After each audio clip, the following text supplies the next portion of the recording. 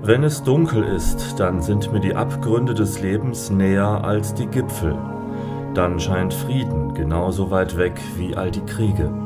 Dann brauche ich einen Gott, einen, der mitten unter uns ist, der das Leben kennt und der die Welt versteht. Jesus Christus gelitten, unter Pontius Pilatus gekreuzigt, gestorben und begraben, hinabgestiegen in das Reich des Todes am dritten Tage auferstanden von den Toten, aufgefahren in den Himmel, er sitzt zur Rechten Gottes. Es wird hell, am Morgen der Tag und an Ostern das Leben.